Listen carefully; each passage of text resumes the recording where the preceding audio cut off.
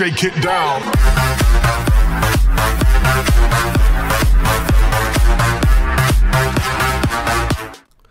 Moin Jungs, da bin ich wieder, euer Zeddy und ich habe ein neues Video für euch am Start und zwar Rockstar hat ja am 4.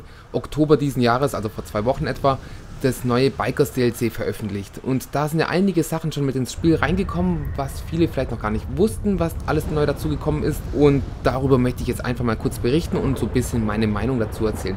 Aber ich möchte nicht das erzählen, was schon Tausende vor mir erzählt haben, sondern ich möchte einfach nur mal was Neues euch erzählen, was ich selber herausgefunden habe und ja, was ich darüber denke, wie das vielleicht zustande kommt. Und zwar am 11.10., das war nämlich letzten Dienstag, hat nämlich Rockstar 2 der bisher neuen Fahrzeuge nochmal hinzugefügt, und zwar einmal der Western Damon und der BF Raptor.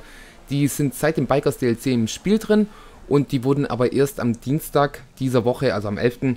erst veröffentlicht. Und da sind jetzt immer noch paar oder einige Fahrzeuge drin, die immer noch nicht veröffentlicht wurden und die zwar schon im Gamecoding zu sehen sind und mit irgendwelchen schlauen PC-Mods kann man die auch schon spielen. Darüber will ich jetzt aber auch nicht näher eingehen, weil das, ich denke mal, die Fahrzeuge kennt ihr schon alle. Ich lasse die auch gerade im Hintergrund so ein bisschen ablaufen, damit ihr seht, um was für Fahrzeuge es sich handelt, welche noch ins Spiel kommen, aber noch nicht wirklich drin sind.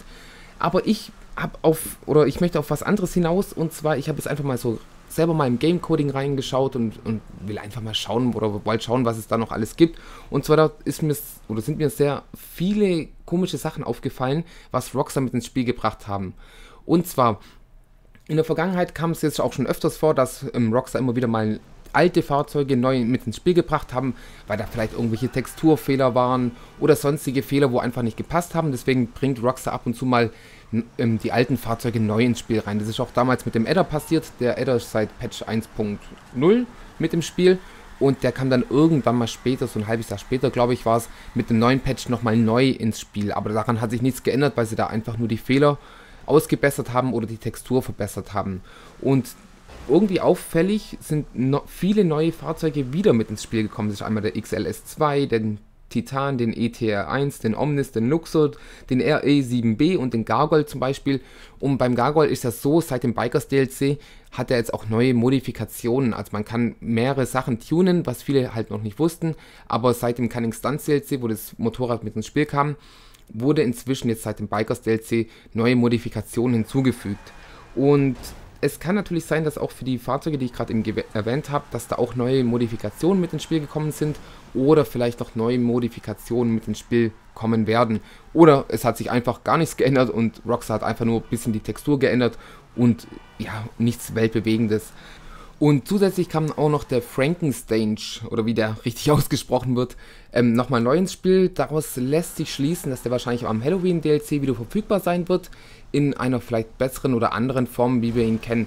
Ich habe jetzt auch mal die Texturen angeschaut, also die Lackierungen sind alles noch die gleichen, wie es damals auch gab, aber es kann natürlich sein, dass jetzt neue Modifikationen hinzukamen, weil auch dort wurde die Datei ein bisschen geändert aber das ist alles ja mal so dahingestellt. Vielleicht ist es nur eine kleine optische Verbesserung, die uns jetzt gar nicht auffällt. Also wir können auf jeden Fall davon ausgehen, dass der Frankenstein auf jeden Fall wieder ins Spiel kommt am Halloween DLC oder Halloween Special besser gesagt, genauso wie die Wetterveränderung, wo jetzt auch schon viele darüber berichtet haben.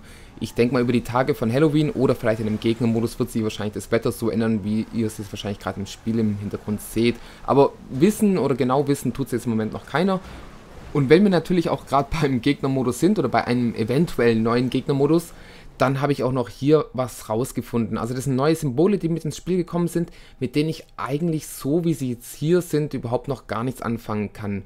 Also das eine heißt hier Boost, das sieht so aus wie, wie, wie in einem Rennen so ein Boost, aber ich kann es jetzt nicht wirklich zuordnen, ob es wirklich der Boost ist, den wir schon haben, der einfach jetzt so ein bisschen verändert wurde für die Röhren vom Cunning Stunts DLC oder ob das was komplett Neues ist.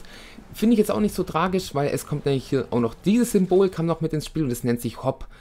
Was das auf sich hat, habe ich überhaupt gar keine Ahnung. Also ich habe das wirklich noch gar nie gesehen, vielleicht ist mir einfach noch nicht aufgefallen, aber ich habe eigentlich die Gegnermodis gespielt und die Warenhäuser habe ich schon ein bisschen gefüllt von den Motorclub-Gedönse da, aber wirklich aufgefallen ist mir dieses Symbol wirklich noch gar nirgends im Spiel und deswegen lässt sich vielleicht daraus schließen, dass aufgrund des Wetter, wo dazu kam oder kommt und durch dieses Symbol, dass da vielleicht ein neuer Gegnermodus entsteht, weil es gibt auch das im Bestie vs. Schlitzer oder sowas, da ändert sich das Wetter ja auch mit dem Blackout oder so, wo davor auch noch nicht im Spiel drin war. Aber das sind alles nur Vermutungen.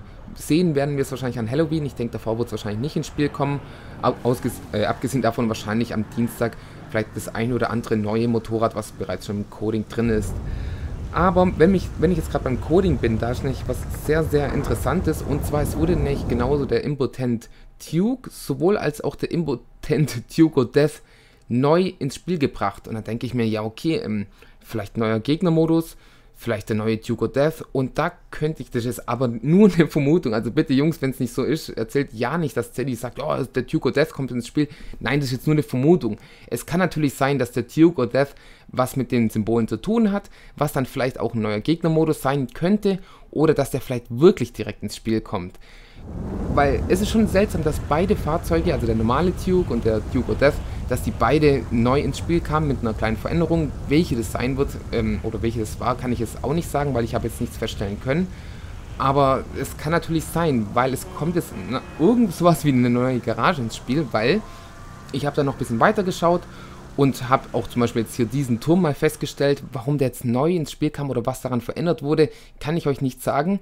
Ich weiß nur, dass es jetzt neu ins Spiel kam und auf jeden Fall sehr interessant ist. Ich weiß noch nicht, wo der Turm sich befindet. Ich habe jetzt mal geschaut. Ähm, ich sehe da jetzt nichts und irgendwie glaube ich, dass da irgendwas Neues mit ins Spiel kommen wird oder vielleicht schon was gekommen ist, was ich selber noch gar nicht weiß. Also wenn ihr wisst, was es mit dem Turm oder mit dem Wasserturm hier auf sich hat, könnt ihr mal in die Kommentare schreiben. Dann schaue ich da auch mal hin und gucke mir das, mal Ganze, das Ganze mal an. Aber was bis jetzt, was ich wirklich, ich habe noch gar keine Ahnung, was dieses Gebäude auf sich hat, weil dieses Gebäude ist nicht zu. Also da kann man nichts machen, da kann man rumlaufen, so, das ist auch schon seit Anfang an im Spiel. Ich kenne das Gebäude schon aus der Story, weil gibt es ja mehrere Missionen, wo man da hin muss. Und was das Gebäude so auf sich hat, Weiß ich nicht, weil es kam jetzt neu ins Spiel und wie ihr seht, da lässt sich jetzt diese Türe öffnen und dieses Tor lässt sich öffnen. Innen drin sieht man, dass es hohl ist, da lassen sich wahrscheinlich dann irgendwelche Gegenstände platzieren und irgendwie sieht es so aus wie eine neue Tuning-Werkstatt. Aber wir haben jetzt die Bennys Garage für die ganzen Lowrider und für, die, für den Sultan und den Benji.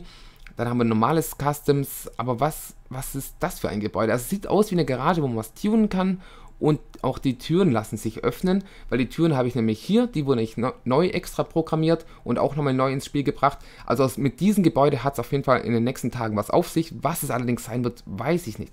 Vielleicht, weil der Duke, weil der Duke und der Duke Death ins Spiel kam, kann es natürlich sein, dass es sowas, das ist jetzt nur meine persönliche Vermutung, dass man jetzt Fahrzeuge gepanzert auftunen kann, weil es gibt ja den Kuruma und den gepanzerten Kuruma. Dann gibt es den XLS und den gepanzerten XLS, genauso mit dem Schäfter und ja, da gibt Baller und was weiß ich, wie viele Fahrzeuge man auch noch in einer gepanzerten Version kaufen kann.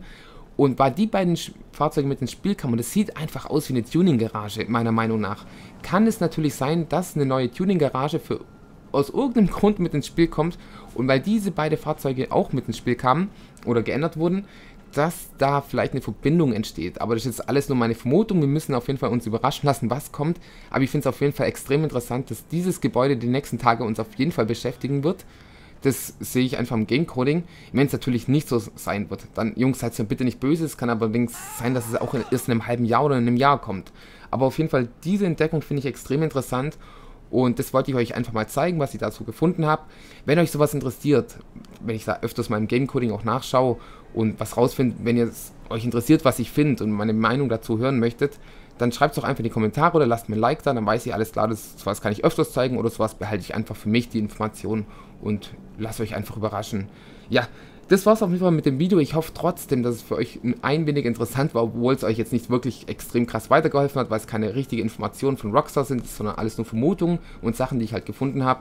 Hoffe ich natürlich trotzdem, dass es euch gefallen hat. Wenn es so ist, dann lasst mir noch ein Like da. Wenn es nicht so ist, ja, müsst halt einen Backflip machen. Ich bin an der Stelle auf jeden Fall mal raus, wünsche euch noch einen schönen Sonntag und wir sehen uns beim nächsten Video. Also Jungs, haut's rein, macht's gut, ciao, euer Zeddy.